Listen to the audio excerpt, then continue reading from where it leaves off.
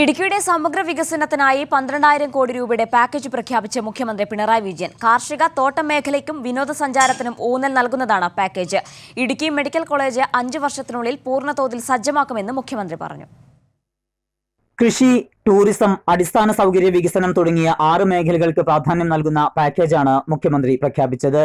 ഹൈറേഞ്ചിലെ സുഗന്ധവ്യഞ്ജനങ്ങൾ അന്തർദേശീയ തലത്തിൽ വിപണനം ചെയ്യുന്നതിന് പദ്ധതി ആവിഷ്കരിക്കുമെന്നും വട്ടവട മറയൂർ കാന്തലൂർ മേഖലകളിലെ ശീതകാല പച്ചക്കറികൾ ശേഖരിക്കുന്നതിന് സ്ഥിരം സംവിധാനം ഏർപ്പെടുത്തുമെന്നും മുഖ്യമന്ത്രി പറഞ്ഞു.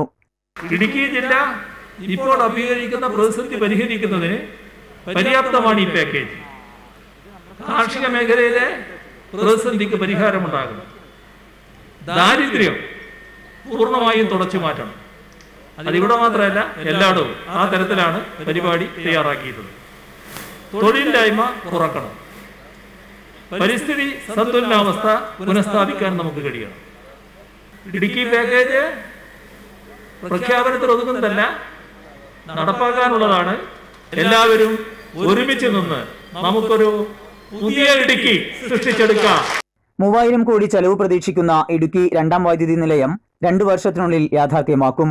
അർഹരായ മുഴുവൻ പേർക്കും പട്ടയം നൽകുമെന്നും മുപ്പത്തിയേഴായിരത്തി എഴുന്നൂറ്റി പതിനഞ്ച് പട്ടയങ്ങൾ ഇതിനോടകം ഈ സർക്കാർ വിതരണം ചെയ്തുവെന്നും മുഖ്യമന്ത്രി അറിയിച്ചു. മൂന്നാർ പരുന്തുംപാറ ഇടുക്കി ഡാം തുടങ്ങിയ വിനോദസഞ്ചാര കേന്ദ്രങ്ങളിലെ വികസനവും സർക്കാർ ലക്ഷ്യമിടുന്നുണ്ട്. ഇടുക്കി പാക്കേജ് നടപ്പാക്കാൻ സ്പെഷ്യൽ ഓഫീസറെ നിയമിക്കും. ചടങ്ങിൽ ധനമന്ത്രി ഡോക്ടർ തോമസ് ഐസക് വൈദ്യുതി വകുപ്പ് മന്ത്രി എം എം മണി സംസ്ഥാന ആസൂത്രണ board vice chairman V K Ramachandran തുടങ്ങി പ്രമുഖർ പങ്കെടുത്തു. കൈരളി ന്യൂസ് ഇടുക്കി.